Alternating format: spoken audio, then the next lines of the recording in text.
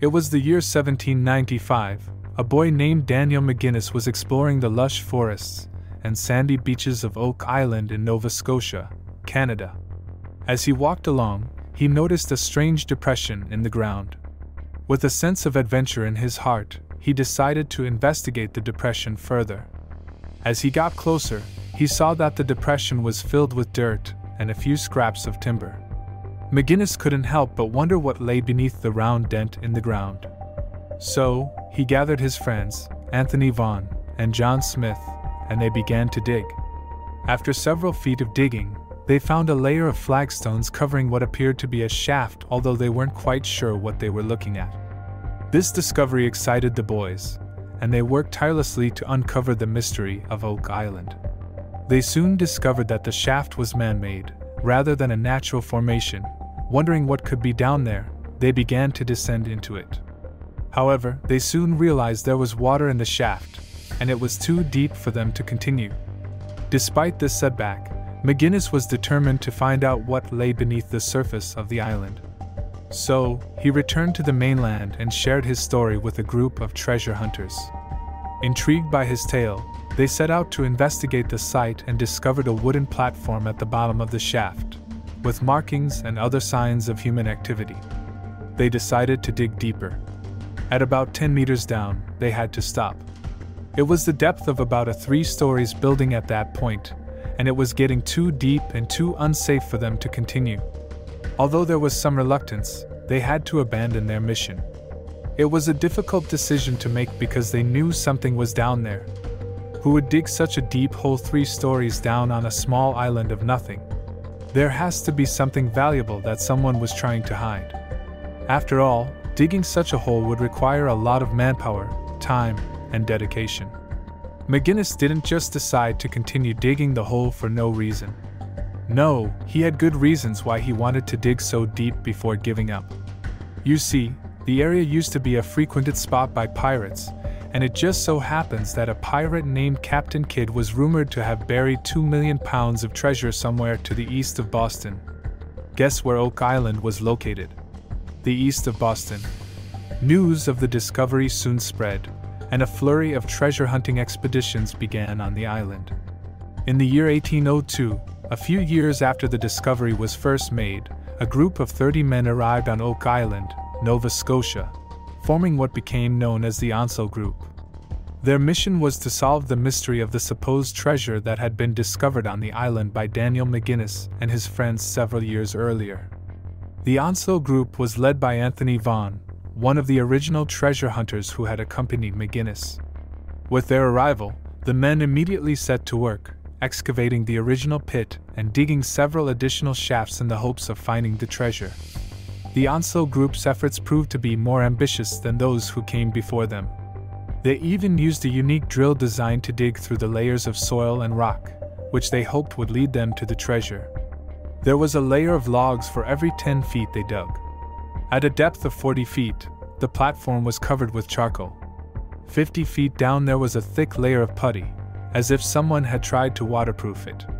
At around 60 feet, they discovered pieces of seaweed and non Nova Scotian coconut fiber, and at 70 feet, they found layers of hand cut planks.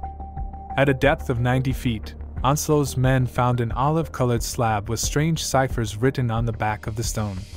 Some believe the text could be translated to say, 40 feet below, 2 million pounds are buried. But others disagree. Amazingly, the money pit was flooded with 60 feet of water the next morning, because they had removed the slab of stone. After the crew failed to get water out of the shaft, the Onslow Company ran out of money and abandoned the treasure hunt. In the end, the group dug to a depth of approximately 27 meters, which was a pretty good accomplishment. It would be another 47 years before another serious attempt at uncovering the treasure of Oak Island. This group of men encountered the same issues the previous treasure hunters did years earlier.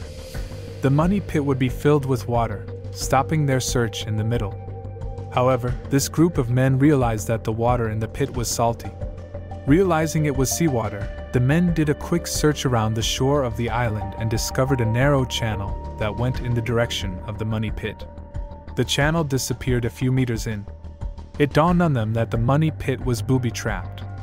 This discovery only fueled the group because why would anyone go to such lengths to protect nothing of value? Captain Kidd must have hidden something of tremendous value under there. Multiple shafts were dug, however, the shafts would either be flooded with seawater or collapse, due to unstable walls. Eventually, the group had to abandon the mission like those before them. In the 170 years since then, there were even more attempts made by different companies and individuals alike to discover what was at the bottom of the money pit. Some brought huge machinery, and some brought their own divers. But the end result was the same they all had to return home.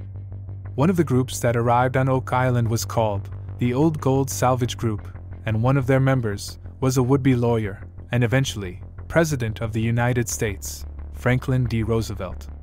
Years after the involvement, he was still hoping to return someday. In fact, in 1939, Roosevelt had planned to return to Oak Island for another dig, this time, with a lot more funding and help. However, World War II broke out and he was unable to revisit Oak Island before his death. Nobody knows what Captain Kidd had buried if he did bury any treasures, but some jewelry has been found. Here are some examples of jewelry that have been found on Oak Island. A brooch. One of the most important gems found on Oak Island is a small brooch discovered during a 1965 treasure hunt. The brooch is made of gold and features a unique design, leading some researchers to speculate that it may be of French origin. A gold chain. In the early 1900s, a gold chain was found on the island. Some researchers believe he was left behind by one of the early treasure hunters. The necklace he is believed to date from the 17th or 18th century and is one of the few examples of genuine jewelry found on Oak Island. These and other discoveries add to the mystery and intrigue surrounding the legend of Oak Island and its hidden treasures. It is unknown if these items are directly related to the money pit and the legendary treasure said to be buried there. In addition to jewelry, some old coins have also been found in the money pit, but not in large quantities to indicate a hoard of treasures that Captain Kidd may have deliberately left behind. In the early 1900s, a Spanish silver coin known as a pistareen was discovered on the island by treasure hunter Robert Dunfield. The coin is believed to date back to the 1600s or 1700s. In 1931, another treasure hunter named Gilbert Hedden found a small copper coin on the island, that was later identified as a Portuguese coin from the 1600s. The coin is believed to have been used as a form of currency in the New World during the colonial era. During a 1970s excavation of the island, treasure hunter Dan Blankenship found a French coin that has been dated to the early 1700s. The coin is made of copper and features the image of King Louis XV. Over the years, there have been rumors that Oak Island is cursed because past expeditions to the island did not result in all safe returns. The search for the treasure on Oak Island has been plagued by accidents, injuries, and even deaths. For example, in August 1965, a group of treasure hunters, led by Robert Restall, was working in the money pit when a sudden release of gas caused them to lose consciousness. Despite the efforts of rescue teams, Restall and three others died in the pit. The tragedy was a devastating blow to the Oak Island community, and it raised serious questions about the safety of the search for the island's treasure. In total, at least six lives have been lost on Oak Island. Most of them died in the money pit. Some believe that these tragedies are a result of a curse, and that anyone who attempts to dig for the treasure is putting their life in danger.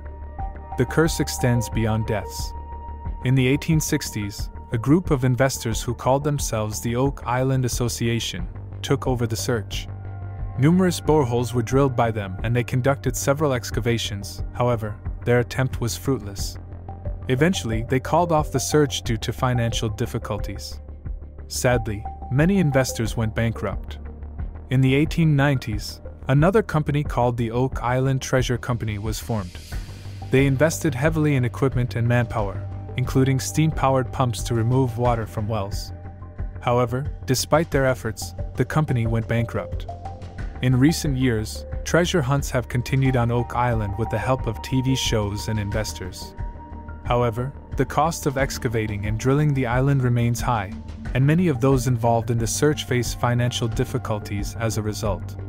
The curse of Oak Island's money pit is not just a legend, but a real life curse that has left many in financial ruin. Despite the risks and costs associated with the search, the lure of the treasure continues to attract those who are willing to take the chance, hoping that one day they will find the elusive treasure and put an end to the curse. After so many unsuccessful attempts, many have begun to wonder if there were actually any treasures buried at Oak Island at all. A lot of stuff found in the money pit cannot be tracked down. This includes the tablet that was supposedly found in the money pit, with a mysterious inscription on top, guiding the treasure hunters to the treasures.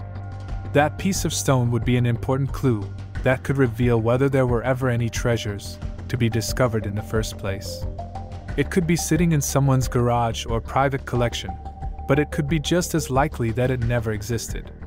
One theory is that the money pit may have been created as a decoy to distract people from the real treasure, which could be located elsewhere on the island, or even on another island. Some speculate that the pit may have been used to store pirate loot temporarily, or as a way to mislead authorities trying to track down the real treasure. Others believe that the supposed treasure may have been discovered and removed a long time ago, and that subsequent search efforts have been futile. For example, some argue that the early treasure hunters may have already found the treasure, but kept it a secret, while others speculate that it was taken by pirates or other treasure hunters at some point. Despite these speculations, some remain convinced that there was something at the bottom of the money pit, and they aren't afraid to continue the search. While the search has not yet yielded any significant discoveries, the mystery and intrigue surrounding the money pit continue to attract people from all over the world, eager to solve one of history's greatest unsolved mysteries. Thank you for making it until the end.